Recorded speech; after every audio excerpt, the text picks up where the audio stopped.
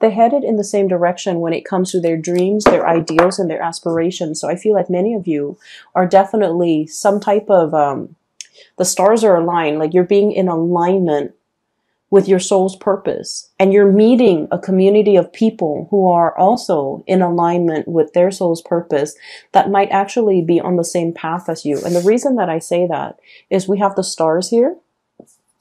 We have the two of wands, somebody working behind the scenes to facilitate this amazing synchronistic uh, experience for you where you can meet people who are very much like-minded. Okay. Um, for those who are self-employed, you could even be working with um, for other people but if you're getting like commission checks royalty fees or if you are self-employed money looks really really good right now okay this is you like over um, like flying over all of your emotional uh, i'm sorry financial worries so having assets, allowing things to grow for you, having money in the bank, being safe and having enough money where it can help you facilitate travel without worries, without anxieties. So if you are traveling to, I feel like, you know, this is like being protected. Okay. So somebody is giving you like the, it's like I don't know what it's called when you're on the airplane. I don't know if it's like tailwind, where you know the the airplane is like going in the same um, direction as the wind, so it's getting a little bit of a boost. So some something's working behind the scenes spiritually to kind of like facilitate the travel process for you, to expedite that process for you, or to ease the um the snags so that you don't have you know um so that you don't have to worry about accommodations, you don't have to worry about lodging. Somebody's working behind the scenes to uh, facilitate that process for you so that you don't have to worry. Okay, so smooth travel, smooth sailing is what I'm seeing. And I also feel like if you are working in whatever capacity, money is coming in. There's a lot of financial prosperity associated with this King of Pentacles. This is like someone who's very practical and uh, very down to earth when it comes to their spending. They know how to save money. They know how to save for a rainy day. They know how to put away money. They know how to invest and they're just, you know, they're, they're not spending frivolously. So I don't see emotional spending. I see you getting a really firm grip when it comes to your financial situation. And especially for those who are self-employed, I see you reinvesting a lot of resources either back into your home because this is somebody who manages real estate and property. So for some of you who own property, who uh, have like multiple um, income streams in particular, if you're renting out property, um, I see you reinvesting in your home, the maintenance and the upkeep of your home, but also you're in a position where property value is really um, in, increasing so you're getting a lot more. Like if you're looking to refinance, I feel like, you know, the, the market right now is really good for that, I believe. And then I also feel like you don't have to worry so much about your financial resources. So you're in a really stable position for those particularly who are self-employed, who are working for themselves, who are dictating their own hours. And I feel like, you know, money is coming in very plentifully. Okay. What I also have here, and this is your energy Aquarius, we have here the star. And the star is somebody who's very, very independent, okay? You guys are like self-sufficient. You know exactly what you're doing. You don't need another person to bounce ideas off of. You're also somebody who likes to keep your cards close to your chest. And I feel like um, you don't need a lot of time to mull things over you come up and formulate a plan. For example, if you want to start a business, you formulate a plan. You don't, um, and I feel like you make things happen for yourself. Okay. So this is somebody who's very inspiring to be with. They have a lot of cool ideas. And then once they kind of like, um, bring that forth into the world, it always come to fruition and it never flops. So this is someone who's really inspiring to talk to. So I feel like a lot of people will be coming in wanting to pick your brains, wanting to talk to you, wanting to communicate with you and wanting to like really, um, learn from you. Okay. So you're, you're seen as someone who's very like magnetic in, in a, not in a forceful way. Some people have a lot of charisma and they dominate conversation.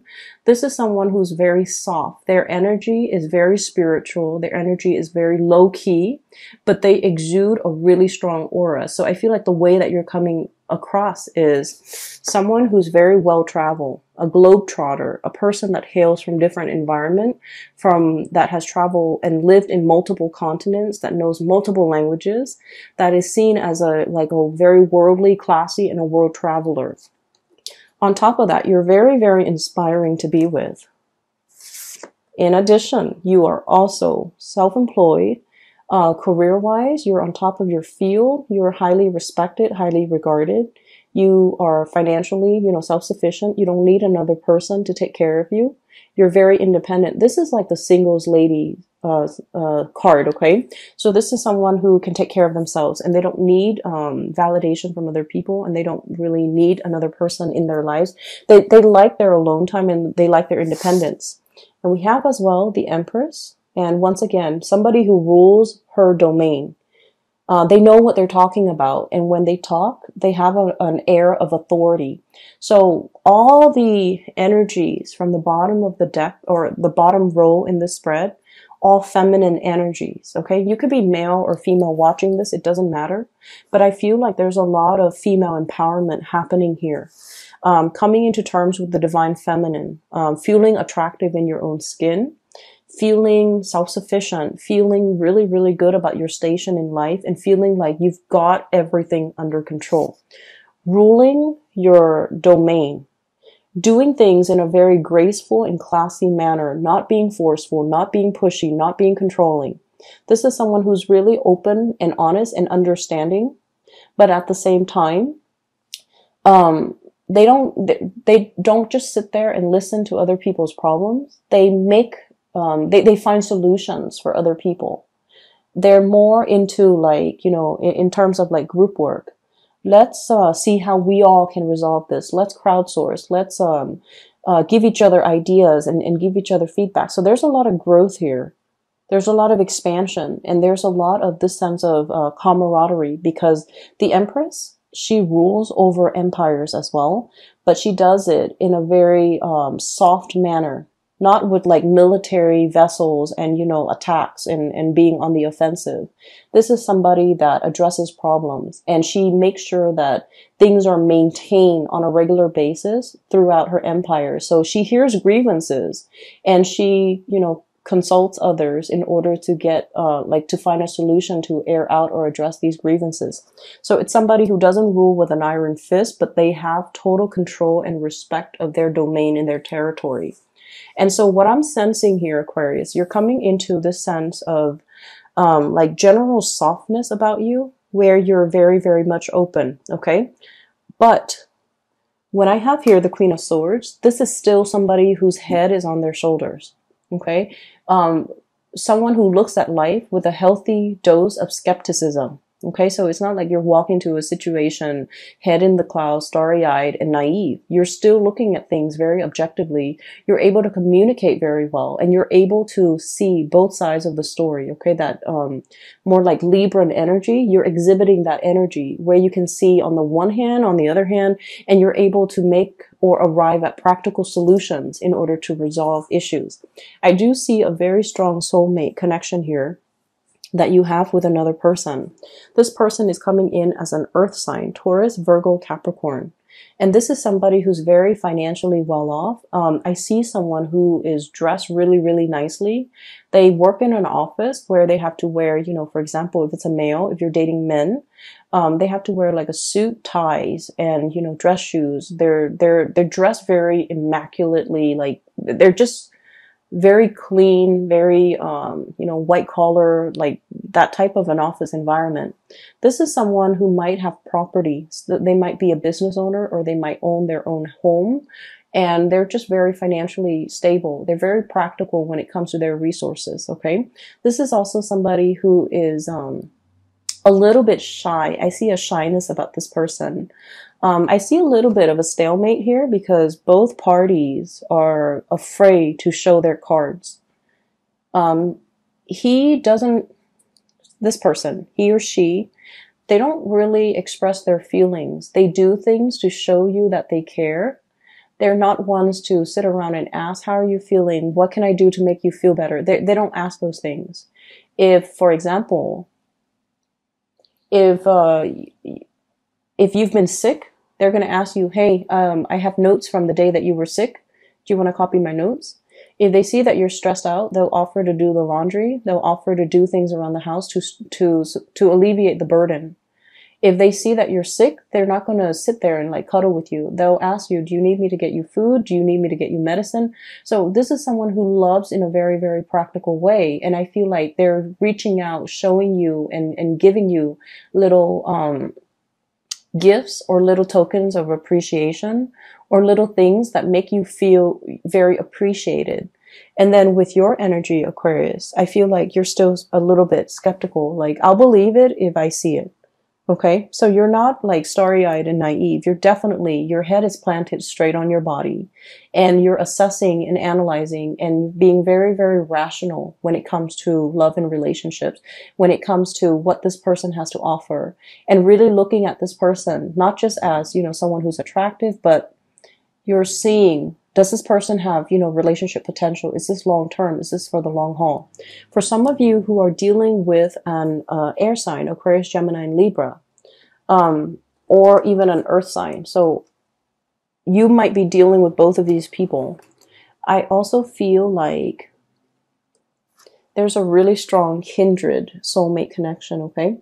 Um, I believe Capricorns also receive this card. So you, for some of you, if you're dealing with a Capricorn, um, I feel like there's a really strong power couple dynamics here. One person is very financially stable. The other person is really intelligent. One person might be very, very clean. The other person is kind of like, um, like a mad genius. And you know, Aquarius, a lot of Aquarius people, um, you can be very, very absent minded and your environment is always like organized chaos. Okay. Uh, not that you're not clean. It's just, you know, orderliness and, and, and, um, putting things back where they belong. Those are not, those things are just not high on your priorities list.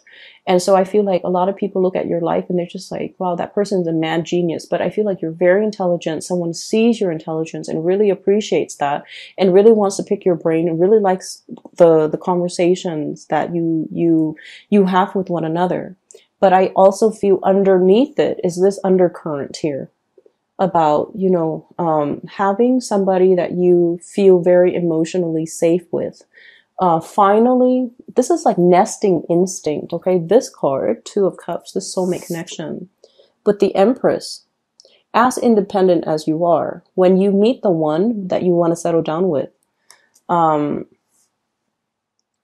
you know and so I feel like for Aquarius, there's this nesting instinct that's really kicking in. It hasn't been there before, but you're meeting somebody or you're made aware that, wow, this is a, a really good person. This is somebody not only, you know, are they reliable and stable? Not only are they a really good caretaker.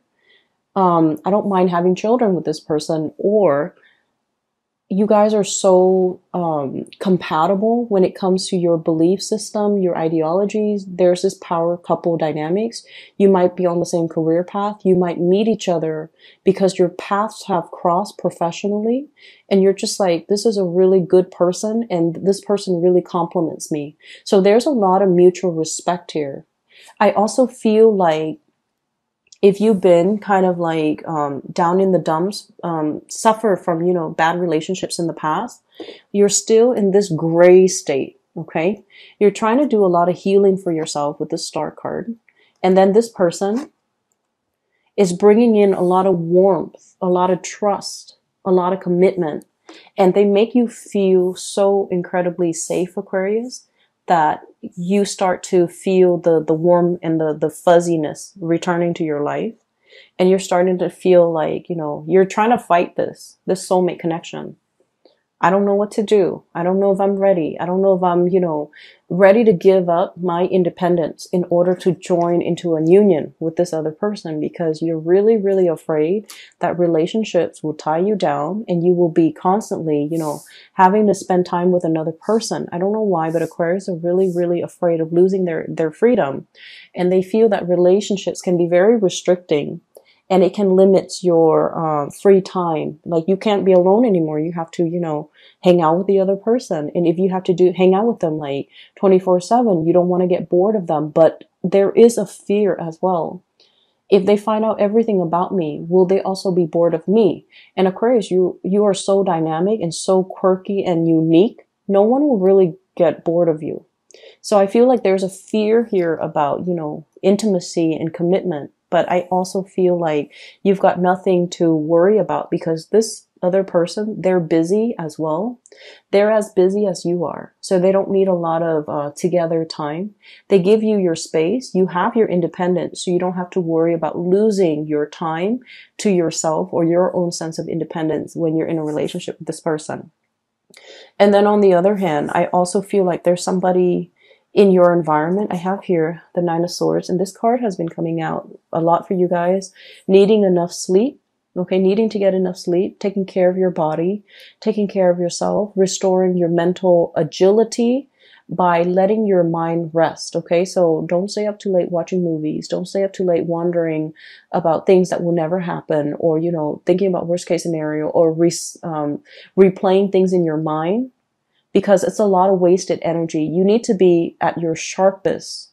So you need to get enough sleep. Let your, it's, it's almost like, um, you know how your phone, right? If you use it all day, it runs out of battery. You have to recharge it.